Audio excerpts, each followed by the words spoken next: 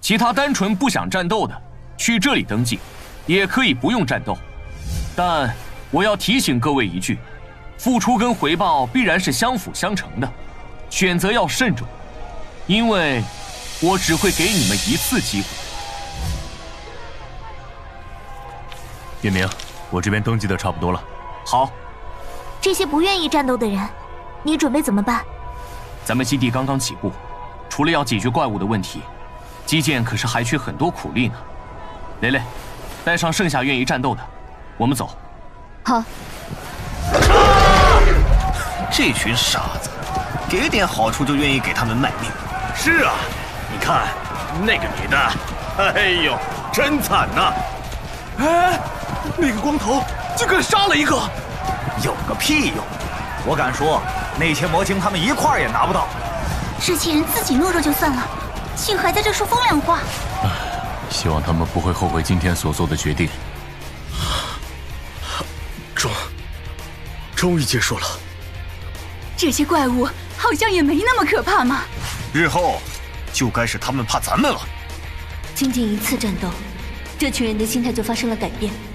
日后好好培养，定能成为一支不错的队伍。今天大家辛苦了，把魔晶收拾一下，准备开饭。好，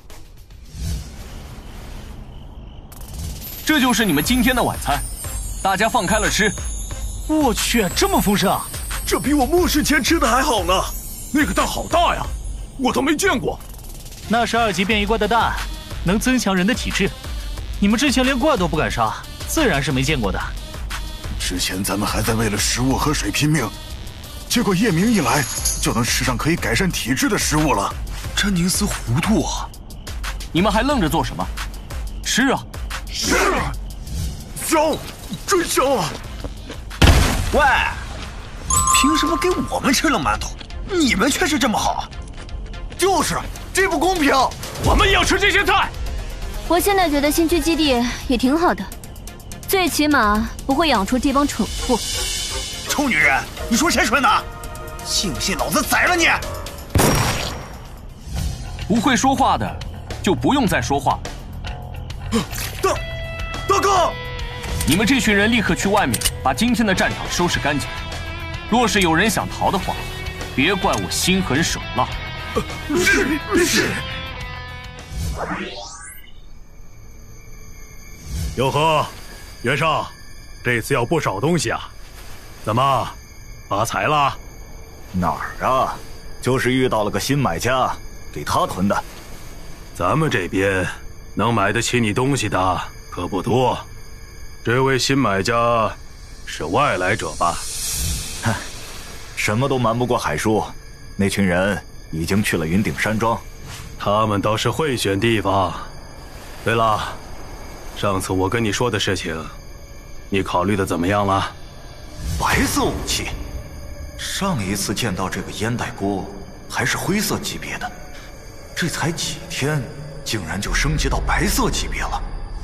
海叔，你也知道，我就这么点人，枪也少，去了也起不到太大的作用，我就不掺和了。废话少说，你要是不去，以后再来我这儿买东西。可就不是这个价格了，好吧，我知道了，去吧。尚哥，货都码好了，可以走了。知道了，海叔，我先走了。啊，老大，我们要和海叔他们一起去那里吗？去个屁！你以为海叔能有那么好心，让咱们一起去跟他们瓜分宝物？弄不好可是要死人的。好。好吧，哎，老大，你说那帮新来的家伙也加入的话，会不会成功率高上一点？你小子脑子倒是活络。山庄外面来了一个车队，领头的叫袁尚，说有要事找你。来的还挺快。